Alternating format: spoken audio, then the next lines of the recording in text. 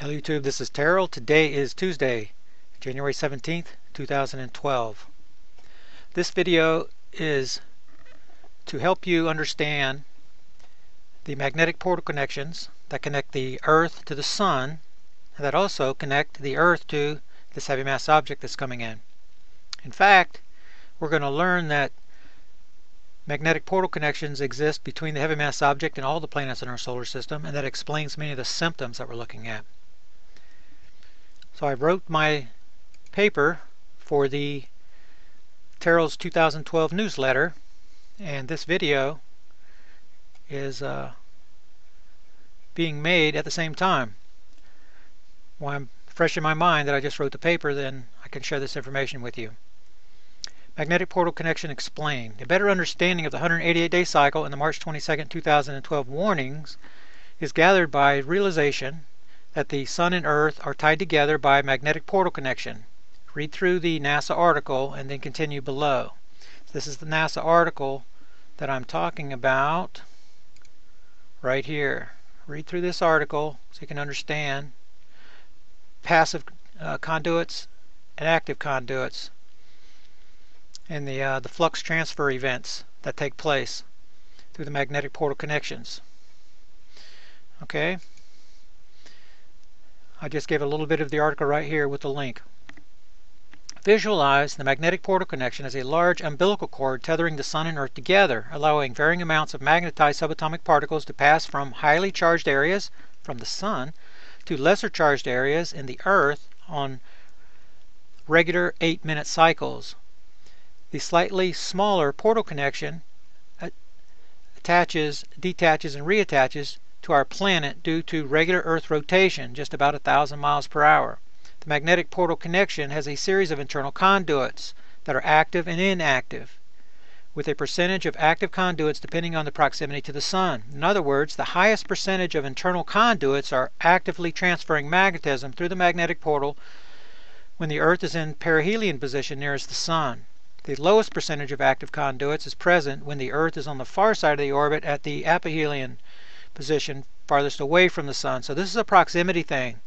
As the Earth gets nearer the Sun, then the more and more of those internal conduits become active. As the Earth is, as that magnetic portal connection is stretched, like an umbilical cord being stretched, then a lower percentage of those conduits are active. So during this time, because Earth is very near perihelion position to the Sun, we're receiving extra amounts of magnetism. Not only that, we're beginning to orbit in the direction of the heavy mass object, which you're going to see. This is a small little diagram that I created for the newsletter that helps uh, depict what's going on here. So you've got Jupiter and Saturn, and, and uh, this is Venus, and the Earth with the little moon here, and the heavy mass object coming in. And what we're seeing is that um, there's a connection between the Sun and the Earth, magnetic portal connection, and a secondary magnetic portal coming from the heavy mass object. Not only the Earth, but Saturn and Jupiter and the rest of the planets, because this heavy mass object is a star, and it's coming in for an orbit around our Sun, and it's trying to wrestle polarity control of these planets away from the Sun. Even though it's too small to do that, this heavy mass object is trying. So it's an arm wrestling contest between a small guy and a big guy where the sun is eventually going to win, but whenever the heavy mass object has proximity in between the sun and these orbitals, then this heavy mass object has the opportunity to create magnetic havoc and gravitational havoc on these planets, which we'll see. The HMO siphons off increased magnetism reaching perihelion position nearest the sun. So as the the heavy mass object is coming in for a perihelion, remember that it's going faster and faster and faster and the magnetic portal connection is getting shorter and shorter very quickly and more a higher percentage of those internal conduits are becoming active giving increased potential increased magnetic potential to the heavy mass object who then can inject that extra magnetism into the earth and that's what we're seeing now the diagram shows how the sun and all the planetary bodies are tethered together via a series of magnetic portal connections. The chakras of your human body are also tethered together through a series of conduits the very same way. Okay, then I want to show you that picture, which is right here. Chakras of your body. heart chakra. Notice how they're tethered together the same way with, with portal connections so that they share energy. Imagine these are planets, that the heart chakra is the sun, and that these planets are in orbit around, being connected together. Okay, now I'm going to disagree with the interpretation here of these things. You have three upper chakras and three lower chakras. And then this center chakra is actually broken because woman should be lying across this way, her three chakras. She's been taken out. Three uppers represent your higher self, that's a spirit, blood, and water witness. Your lower three chakras are your lower self, the spirit, blood, and water witness of the lower self, lower self and higher self. And these planes are physical, emotional, mental, intuitional, spiritual, um, etheric, and esoteric.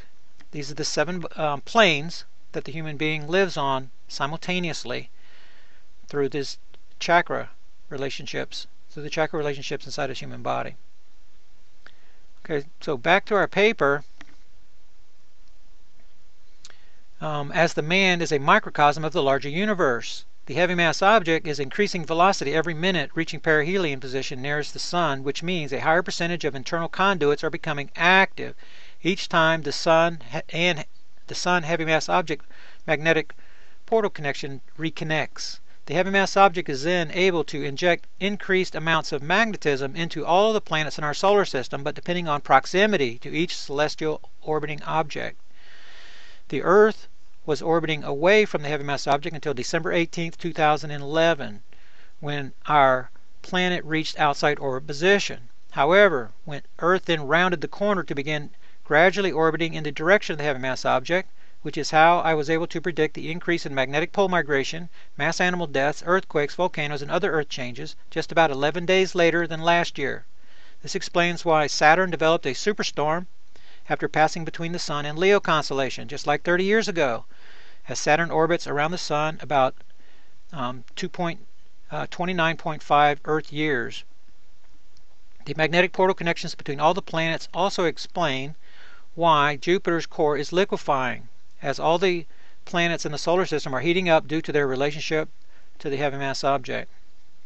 Okay, so when we go back to uh, then you have stories that are connected. They're they're down in the, uh, the description box about Earth's core, uh, Jupiter's core, how it is liquefying, and the reason would be the same reason that the Earth's magma is taking up more space because it's heating up the Jupiter's core is heating up because of receiving extra magnetism because of the magnetic portal connection. Same thing with Saturn and the superstorm. What's going on here? You're going to go back in time and notice that you're looking at 30 year cycles. 30 year cycles because, and I've seen multiple stories on this, it says that, see, Saturn is right now in Virgo. It just passed through Leo and it has this storm. And it says, guess what? It happened about 30 years ago because that's one Saturnic year. It happens each time Saturn passes in front of the Leo constellation. Why? Because that is where a heavy mass object is coming from. And that's the same thing that's happening with the Earth on the 188 day cycle. It's happening and given directionality to the Leo constellation the same way. So we're looking at a pattern of evidence here that's pointing towards the Leo constellation as the place where this heavy mass object is coming from. Okay, I'm um, continuing on. Uh, the uh, magnetic portal connections between all the planets explains why Jupiter's core is also liquefying. That's why we would need to go to the uh, the next story. Oh, we already looked at Jupiter. Yeah, we already looked at Saturn. So we're seeing signs. Not just that. If you go to Mincer Amar, paper to Cornell, April 11, 2011, he's going to talk about Uranus becoming super active. For the same reason, we're seeing a pattern here. Okay, Earth was in the center of the backside orbit on, December, on September 15, 2011 with the, with the Fiji event, the 7.3, which represents the last event on the 188-day cycle. That marked the time that Earth began orbiting away from the heavy mass object to actually stretch the magnetic portal connection until reaching outside orbit position on December 18th. See, that's also the time that Earth was behind the Sun as the giant magnet. So er, uh, the Earth was actually being protected by the Sun from the effect of the heavy mass object. So we have an internal effect through this magnetic portal connection, but we also have an external effect because of the subatomic particles coming from the heavy mass object itself. See, the sun is releasing subatomic particles constantly. It's shedding its outer skin. Sub the subatomic particles are also being released from the heavy mass object. It's just they're not under ignition. That's the important thing to realize. NASA is warning about subatomic particle counts. They're warning about we're, we're orbiting into an, a photon belt. I should have included that in the links. Um, this is another symptom of heavy mass object. Subatomic particles bombarding the outside of our magnetosphere while the influence of the internal magnetic portal connection, we see you have opposing forces here working, which kind of contradicts uh, that each wants to uh, um, outbalance the other. The, the outside effect and the internal effect, because increased magnetism actually wants to strengthen the magnetic, the magnetosphere. So the magnetosphere should be getting stronger by having dual magnetism, but it's not working that way because of the external effect. The quadrillions and quadrillions of subatomic particles bombarding the magnetosphere is causing the outside of our magnetosphere to weaken and weaken and weaken. And NASA is also warning about a weakening magnetosphere that's getting holes in it because of the external effect.